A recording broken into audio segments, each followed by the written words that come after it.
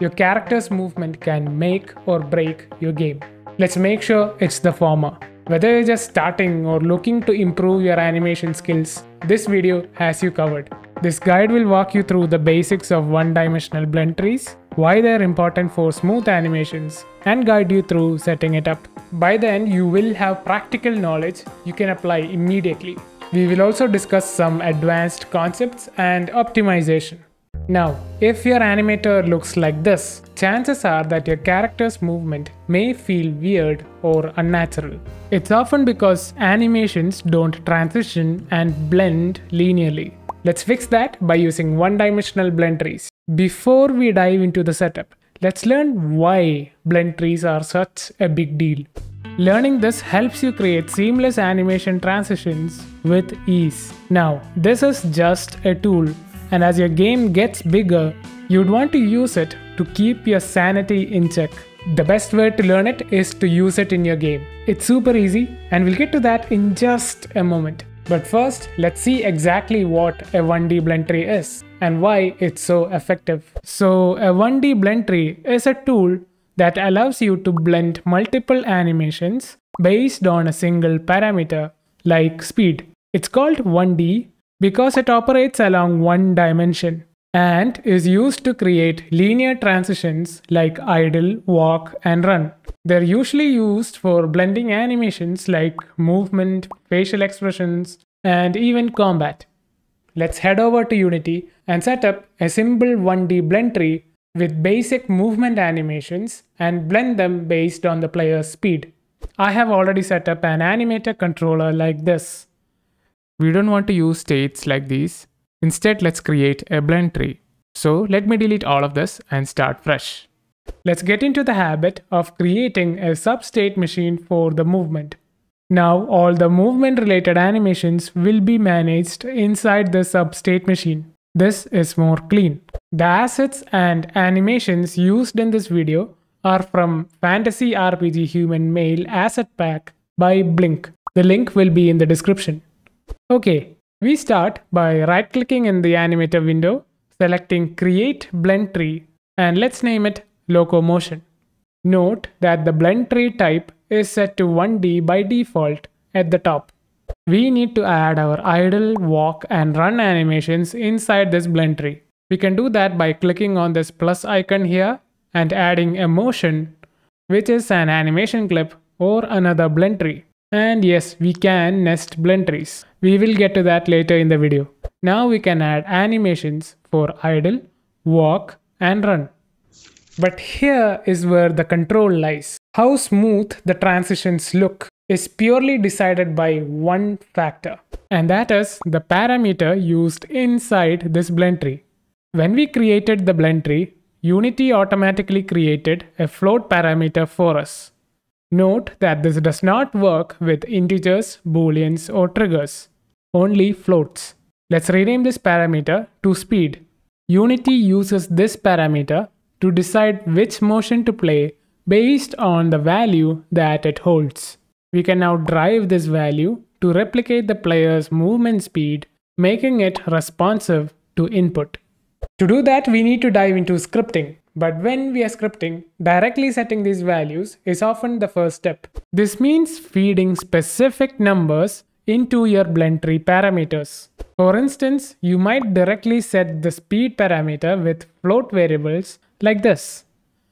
To do that, first we need to get a reference for the animator component and then in this case, inside the move function, we set the parameter value by using the animator.setFloat function and set it to 0 or walk speed or run speed depending on the input.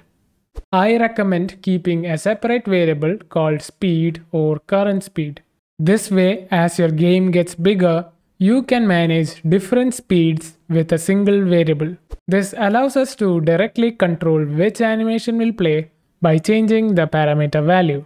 This approach is simple and this is the first step. But now this doesn't feel right. When I'm not sprinting, the sprint animation is still being played. To fix this problem, this next step is extremely important.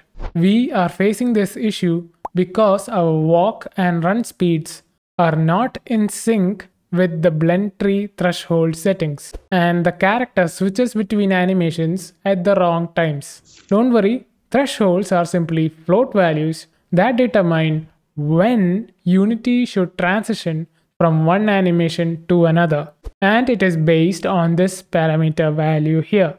Right now, automate thresholds is on, which means it will equally split this value, which is useful in some cases. We can turn this off to manually adjust these thresholds to ensure that the character goes from idle to walk at a lower speed and from walk to run at a higher speed. This is super easy to do.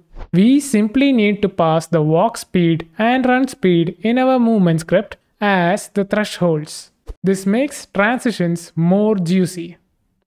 But guys, this doesn't feel natural. It feels snappy. So this step is what adds life to blend trees and that is to move beyond fixed numbers. We need to start interpolating or gradually increase or decrease this value to add that polished blending feel. Interpolation in this context means gradually changing a value, in this case our speed variable, over time rather than jumping directly from one state to another.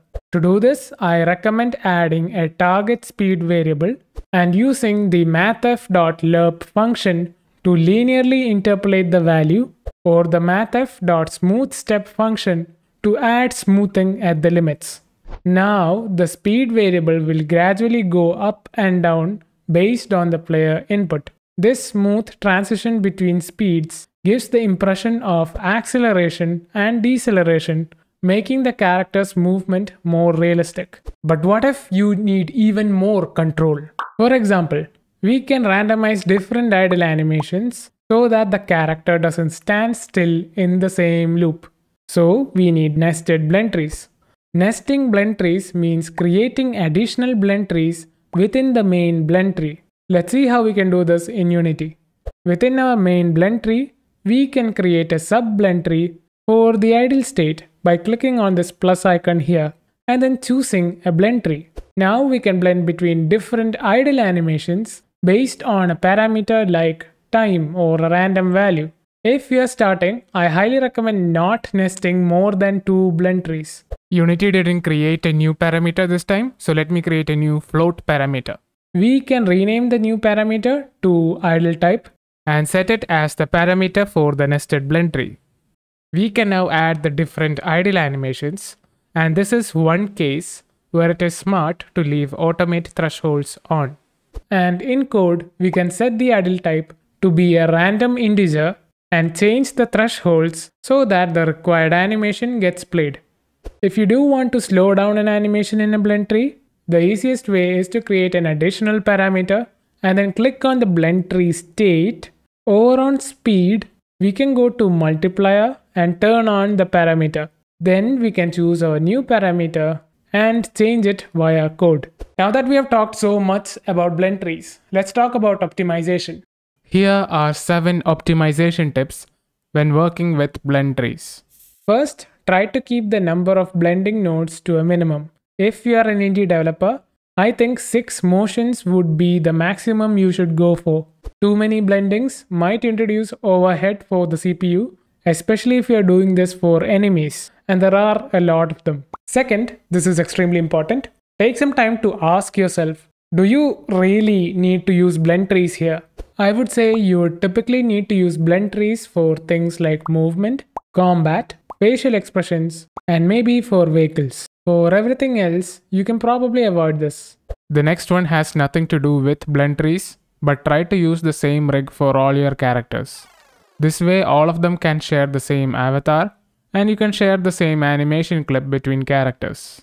Next, try to optimize when the parameter updates. This is done via code and just update the parameter only when necessary. For the movement of the player, I think it's fine. But for enemies, you might want to think about when you update the parameters. So just like with AI navigation, you don't have to do this every frame for enemies. Instead, you can do this once every 10 frames or something. In the animator, make sure to set the animator culling mode to cull update transforms or cull completely. I've explained this in my animator video. You can check it out on the top right and the link will also be in the description. Next, make sure your animations are compressed. On the animation import settings, you should set compression to optimal or keyframe reduction and test. The last and the most advanced tip is to profile regularly. This may seem complex and overwhelming at first, and I hate doing this. But it is extremely important, especially if you are making games on mobile. This requires a completely separate video, and let me know if you'd be interested in the way I like to do my profiling. It's not as complex as you think.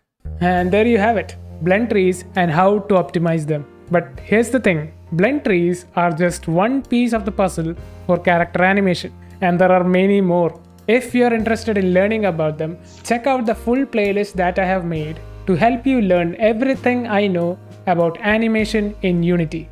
See you there!